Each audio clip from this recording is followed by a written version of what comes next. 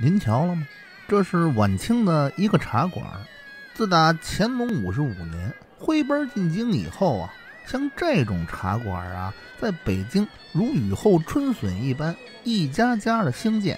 台上是锣鼓家伙，文武带打；台下的看官啊，抽着烟，喝着茶，听着戏。戏台右下角的水牌子上写着今天的戏码，另一侧呢写着明天的戏码。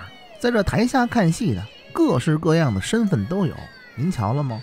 这有戴着官帽的官人儿，养尊处优、肥肥胖胖的八旗秧子，这提笼架鸟的少爷们呀，互相作揖打签儿，透着就那么客气。除了这铁杆庄稼，听戏的还有戴着白毡帽的关外老客。营里当差的铺户们辫子都高高的盘在头上，这些也就罢了。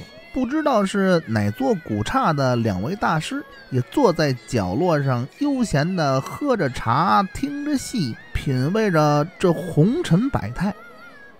就连这漂洋过海、远道而来的波斯商人，也不愿意错过这个热闹。也不知道他呀是听得懂还是听不懂。指手画脚的，一边比划，一边和旁边牙行的人聊着天您瞧了吗？只有男客不见女客，这就是清朝的时候啊进茶馆听戏的规矩。这幅画的名字呀叫《同庆班茶馆演出图》，就收藏在首都博物馆。马连良先生诞辰一百周年的特展呢，正在首都博物馆举行。除了这幅画以外，这次展览呢。好玩、好看、好听的多了去了，不光有好看的照片手札，还有马先生当年登台的场面和行头，声光电一体，简直了的高科技。